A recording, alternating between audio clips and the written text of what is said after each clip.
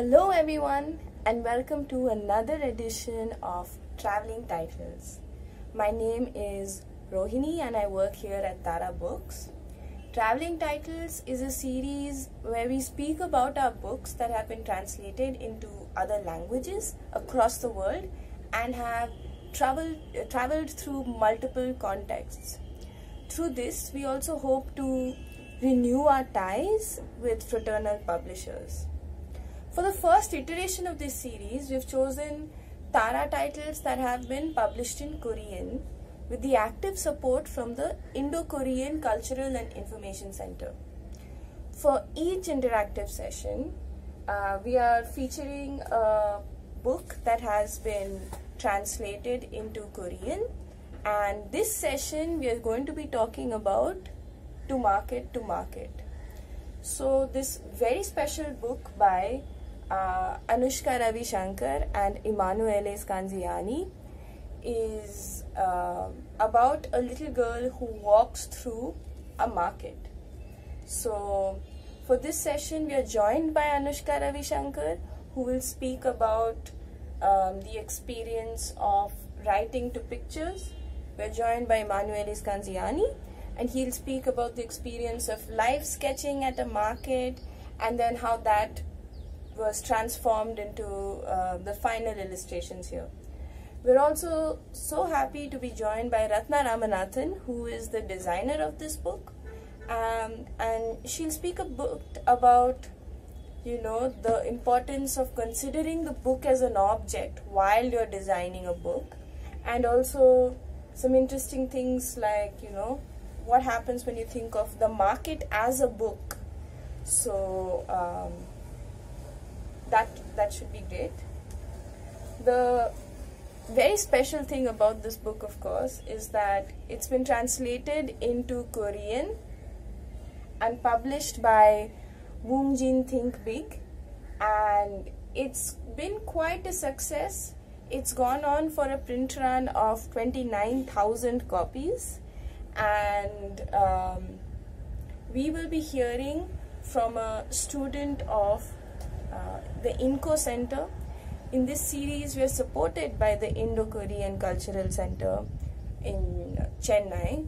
And she is a student learning Korean there and she has also gone to Korea. So she'll be speaking about you know what's common or what's also different in between Indian and Korean markets. And we're going to start off this session with a reading of the book. Um, and throughout the session, if you have any questions or comments, anything like that, leave them in the comment section below. At the end of the session, we will um, answer you or read them out. So I hope you enjoy this session and to start it off, here's a reading of the book. To Market to Market by Anushka Ravishankar and Emanuele Scanziani.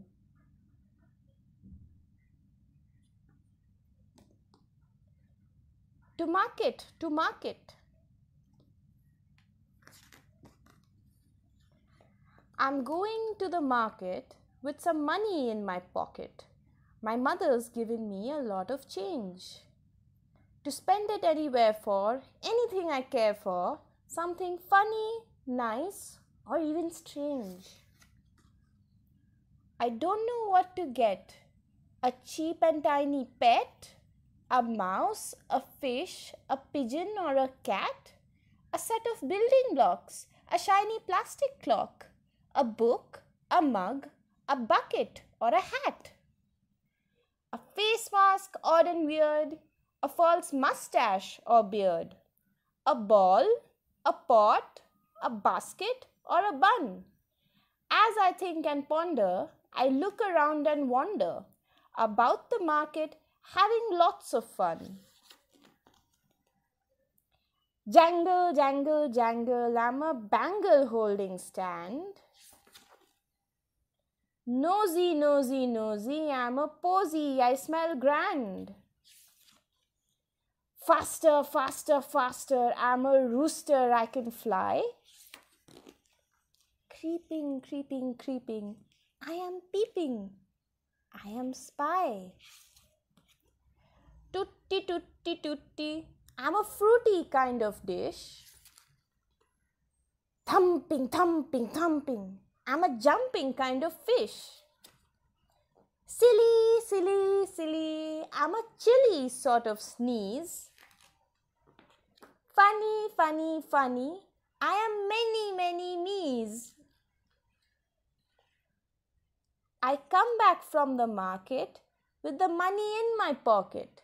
When my mother asks me, So, what have you bought?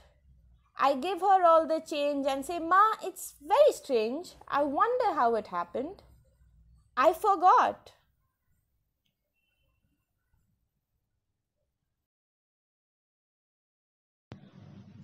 I hope you enjoyed the reading of the book. It's quite a delightful book, isn't it? So, it's actually common to find picture books where illustrations act as the visual form of the story behind the book. But what's so special about this book is it does more. It's a combination of two narratives, and each of them tell a different story. So, for example, if you look at this page, you'll see at first glance that this is an illustration of a stall at the market. But if you look closely, what the illustrator has done here is that he has woven multiple activities into this scene. So, for example, there is a black cat with bangles on its tail. Do you see that? There are fish jumping through bangles. There's a little mouse who's running away with a golden bangle in its mouth. In the background, we get a brief glimpse of the rest of the market and its shopkeepers. However, the text doesn't describe anything we can see in this illustration, right? All it's saying instead is that jangle, jangle, jangle. It's the sound of the bangles. And it's like this for every page with a different setting, with different uh, different details hiding in every page. So for example let's look at this page. It's a different setting and different activities are taking place. So do you see the butterflies here? If you now if you look at this page and you see the size of the text you'll see it's a lot smaller.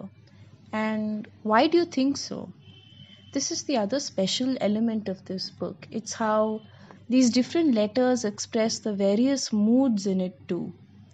Just changing the way letters sit on a page can tremendously change the experience of reading a book through its text and illustrations. Now let's have a look at this page. This specific picture book may not have a lot to like read in the literal sense, but it invites you to observe the images. So, for example, what does this picture tell you about the market? Firstly, that it's close to the sea. You can see that the fishermen and the fisherwomen bring in their fish every day here. Or even if you look at the color in these illustrations, look at the colors of the saris that people are wearing, the flowers on their hair. Do you see similar colors, similar um, outfits or ornaments in markets near you, it makes you question your context. And it's talking about this a little bit more and the experience of um, sketching in a live market like this. This was actually in Pondicherry Market. We now go on to Emanuele Scanziani, the illustrator, to hear about not only the experience of sketching it, but maybe the reasons why these fantastical elements are there. Yeah, now I remember how the project started. I brought some sketches of uh, daily life uh, for the workshop in Chennai uh, with Tara. And then I've been asked to, to try to develop the life of a market because the markets in India are very full of light, shades, contrast, and uh, hues, and different kind of color palettes. And then I took up uh, aspect yeah, more than a week, if I remember well. All day, all days, uh, more than a week, uh, spending in different area of the market with them, with the daily life. I was going there in the early in the morning. Already after two, three days, I was completely, let's say, welcomed by them and completely into the scene. The ladies giving me flowers, tea, sitting amongst them, and, and yeah, was a okay. The, the Indian markets are different from the Europeans, North Europeans, South Europeans, like a fish market in Italy. It's approximately the same. There is this golden light in the morning and uh, is a aliveness. And then uh, usually I go there, I sit, I close the eyes uh, for a while to listen to all the sounds, chattering and uh, noise, clanging.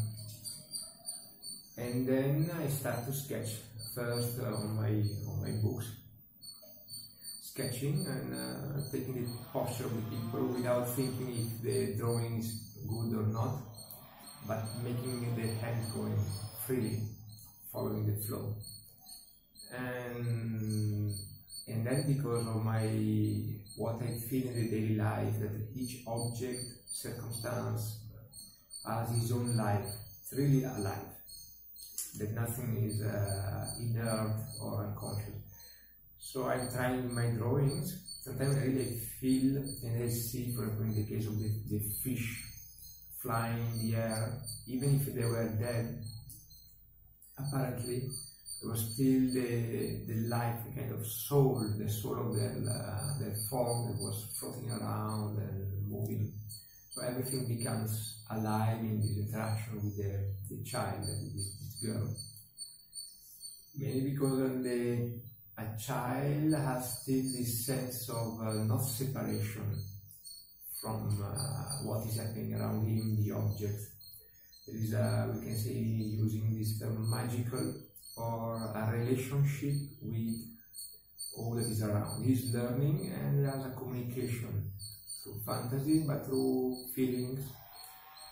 So still in me, that thing is still alive, and I kept it uh, alive, like in a, when you are at, a nest, and you have the small, uh, the small baby or bird uh, that are still there, and you're trying to treasure this feeling of magical things around. It can be magical or in good happenings, like in the market, and it can be magical also in strong and sad happenings in in the life. So each each has his own, we say, soul or entity that moves around the things, and that is my my work.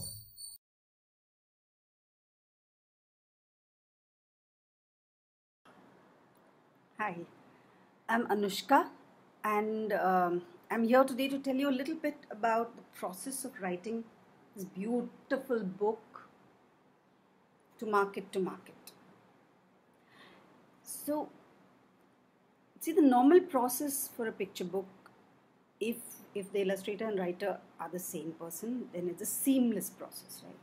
The illustrator imagines the page and also uh, figures out the words to go with it and it's there's there's a kind of seamlessness about the process.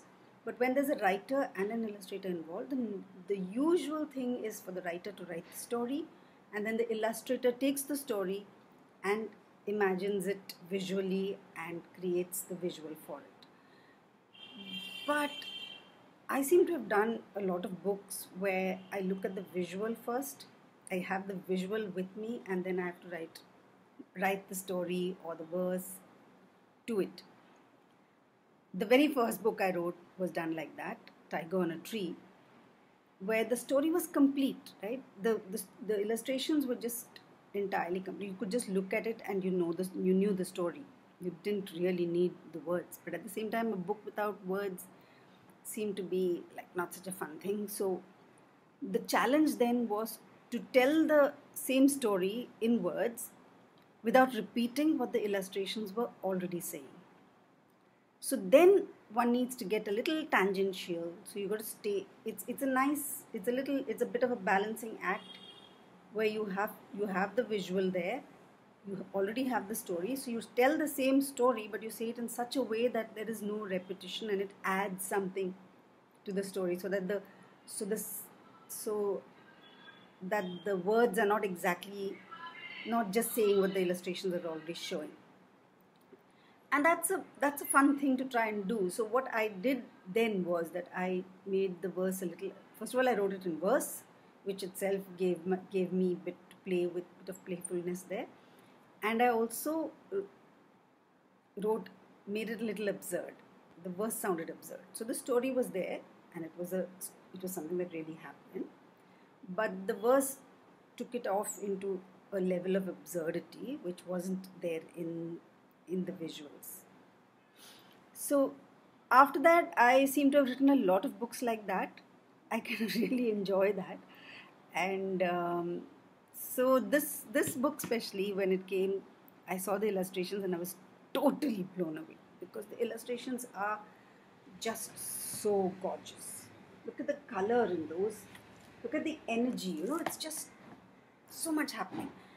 It's on the face of it it's it was when it was given to me it was about a walk through a market. So the market itself is a beautiful magical colorful place but with what Emanuele had done was he had added this element of playfulness. So there's the girl with this cap of flowers there were fish leaping about it kind of had a another fantasy, a level of fantasy, subtly done. And it was just so beautiful. It completely blew me away, and I wanted to write the text to it. So when I look at a visual, um, I respond to it. Uh, sometimes, sometimes I respond to it very immediately. So sometimes it's the it's the playfulness of it, or sometimes it's some some some little element that that will strike me and create connections in my head. With this book, what happened was that the moment I saw it, it this, I got this playful rhythm in my head, which I couldn't get rid of. So, so I started with that. So it was every page, uh, you know, it was just, there was, there was this feeling of this girl jumping around the market, leaping about and having fun. And that rhythm is what I started with. So you have the pages going jangle, jangle, jangle, I'm a bangle holding stand. Nosy, nosy, nosy, I'm a posy, I feel grand. So there's this there's this rhythm that was there, and that's what I started with because that's what happened when I saw the illustrations. I it immediately created this rhythm in my head. After I wrote the rhythm to the actual illust- to the pictures that I already had, we decided this. I remember we discussed it, and we said it needed a larger frame, which had, you know, which was which was. Uh, not just about this girl jumping to the market, but a, a, bit something that would give a story to the whole thing, anchor it in a story. So then I came up with the story of this girl getting money from her mother to buy something in the market, and then she goes jumping through the market, you know, having fun. And then at the end, she, when she comes back and her mother asks her, "What did you buy?" she realizes, "Oops, I bought nothing because I was having so much fun." So you know it has a it has a kind of it talks to the whole idea of consumerism and all that but that was not in my mind. It was just a story. And um, but essentially essentially this book was a response to Emanuele's amazing illustrations. So that's how it happened for me. And i'm so glad it did because i, I haven't enjoyed a book so much uh, you know in the in the in just the way that it created sounds in my head. That is very unique about this book for me.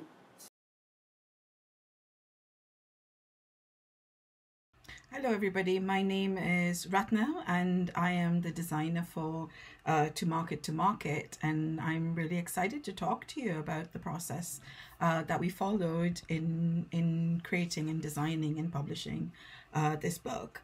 So um, when I came to the book, it was uh, uh, after I'd seen uh, Emanuele's and uh, illustrations and Anushka's um, text to it.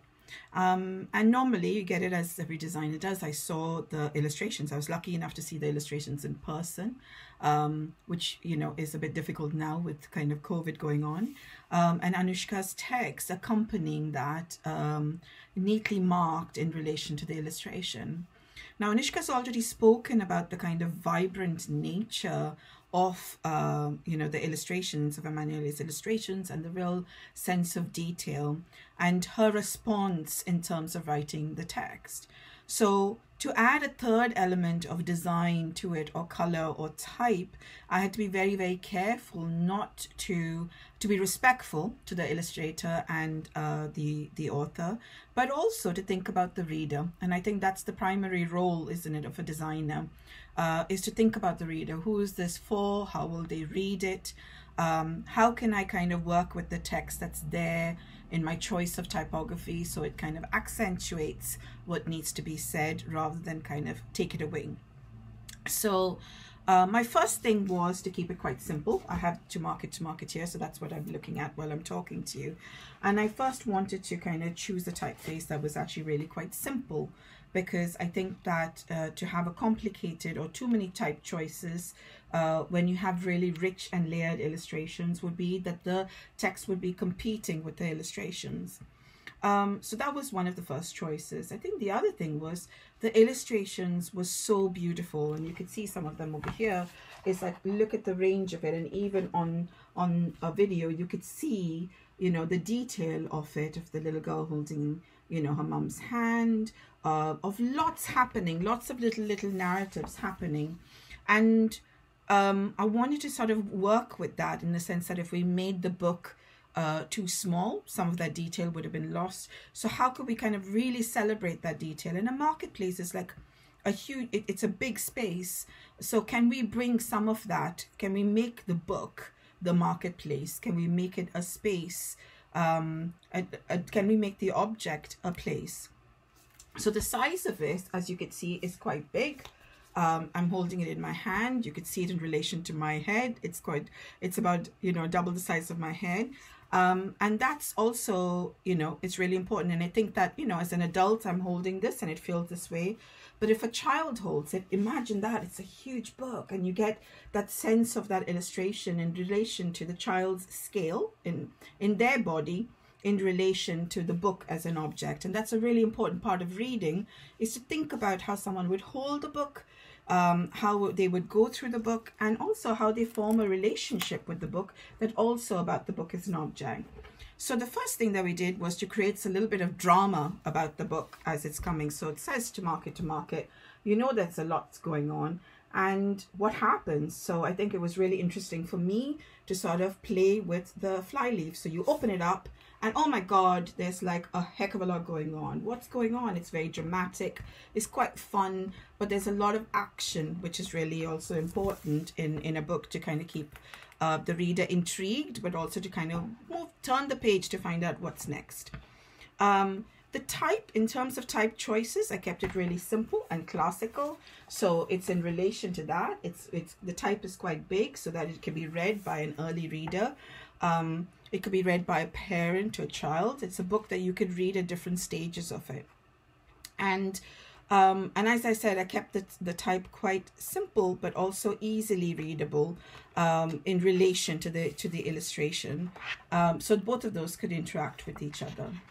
Uh, it was also really interesting to play, have an opportunity to play on some pages with type play and actually kind of use the type as an image on an illustrative way.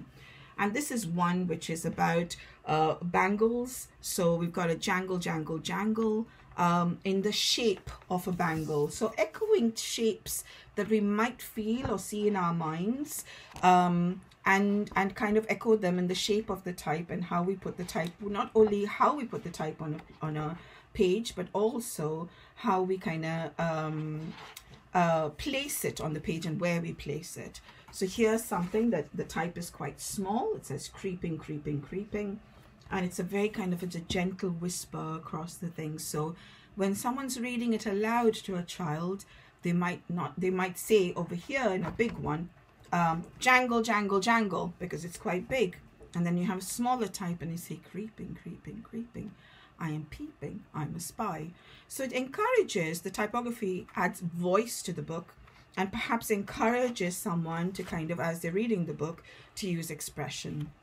I used very, very simple uh, shapes. So the thumping, thumping, thumping takes the, sh the shape of a fish jumping out of the water, for example. Um, so using silly, simple shapes and sometimes fun shapes to sort of echo that um, and to sort of illustrate in its own way uh, what the text is, what the text is saying. I have to say that um, there's a real freedom in, in when you do this, but also a great responsibility. And I guess the freedom is that as a person, as a designer, I'm reacting to the text and to the image. I'm getting into the words. I could feel them. I could hear them. I'm reacting to the images quite viscerally. Um, and that's really fun and enjoyable. But there's also responsibility that I have to the reader, which is that at the end of the day, somebody's reading this and you want to make it an enjoyable experience for them. But also you want to cater to a real diverse range of audiences. You want to think about children reading it by themselves, adults, you know, um, two adults reading it, children and, and, and parents reading it. And that openness of thinking about who reading it helps the sense of responsibility that you feel as a designer. The last thing I'd say is about the book as an object. It's a really big book. And it's really, really important that when you're designing something, you design it not just as a page on a screen, but you design it as an object that's to be held, uh, to be cherished, um, but also a, a, a utilitarian object that is easy to use. And this book is super, super light. So even a four-year-old or five-year-old can hold it. They could sit with it, uh, but an adult can hold it. And, and I think that's, that's the joy of actually design, which is not just on a page or a screen, but when it goes out into the world and it leaves your hands, um, how is somebody else going to receive it? And how will they start that conversation with them that they themselves having with the book. It's been a real pleasure to talk to you about something that's really close to my heart, which is about typography and design um, and publishing and the book. Um, and I hope you'll enjoy it. And I hope that it'll convince you when it's safe um, to go back to market, to market. Bye for now. 네, 안녕하세요. 저는 인도 짠메에서 좀 각당 인구 다니고 있는 합니다. 작년에 제가 한국 갈 기회를 받아서 2주 동안 한국에 갔다 왔어요. 어, 한국에 있을 때 서울과 전주 여행을 했어요. 어, 당연히 쇼핑 같은 거 해야 되니까 어, 서울에 있는 대형 마트도 가봤고 어, 전주에 있는 어, 전통시장에도 가봤어요. 가보니까 서울에 있는 대형 마트와 어, 전주에 있는 어, 전통 마트의 매력이 정말 다르고 느낌도 달랐어요. 어, 전통 시장에는요, 어, 그, 사람들이 너무 정겹고, 어, 마음이 너무 따뜻했어요. 어, 그리고 근데 어, 서울에 있는 대형 마트에는요 어, 손님들과 거의 대화를 안 하더라고요.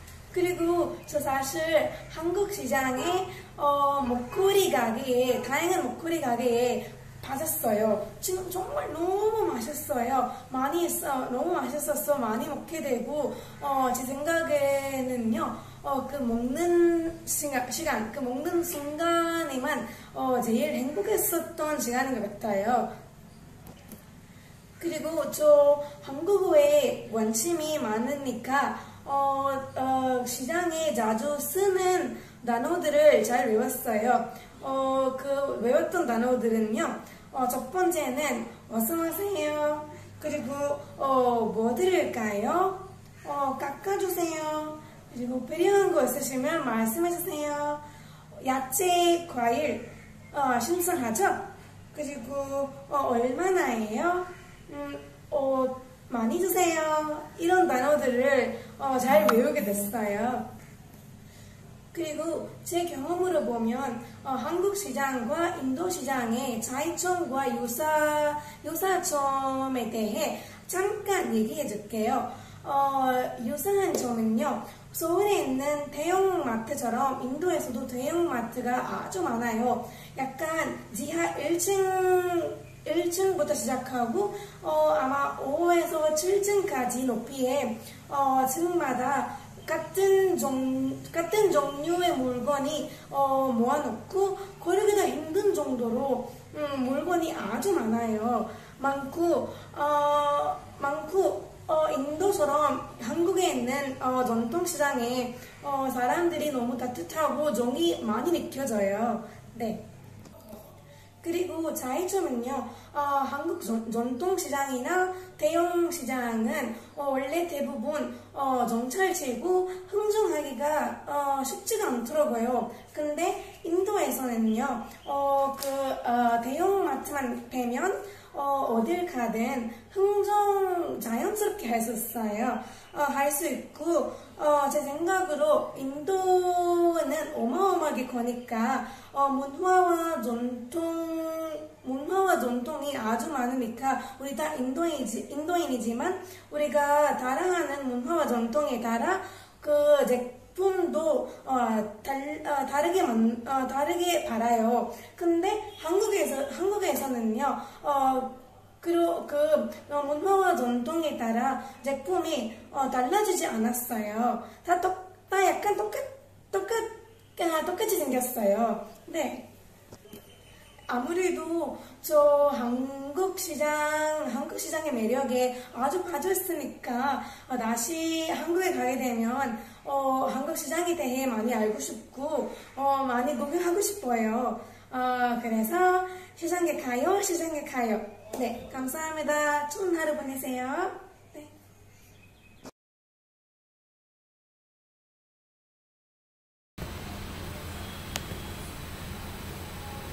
Hello, everyone. Um, so I hope you enjoyed the session and thank you for watching through this. Um, so I just before I go on to the other things, I wanted to say that this title, which is To Market to Market, along with the two other titles in the series, uh, traveling titles. Before this was Knock Knock, and before that was the Color Book. All of them are on discount on our website. Um, it's a 20% discount. You just have to apply the code traveling titles. The details of this is always in the is also in the description. So um, yeah, um, I wanted to mention one thing, which is that um, Rathna spoke very nicely about um, the hardcover edition of the book, but uh, what we have available now is soft cover, and it's a bit smaller, but just as delightful. Um, and we also see that uh, Tanushree Singh has uh, written in. We're big fans of the Reading Raccoons uh, here at Tara, so thank you so much for joining us. And um, I'd also like to thank Anushka Ravishankar, Emanuele Scanziani, Rathna Ramanathan, Saranya from the InKo Center, and of course the InKo Center itself for joining us um, in this session. Um, next, uh, next month we have Gobble You Up, so do join us for that. Um, thank you again and see you.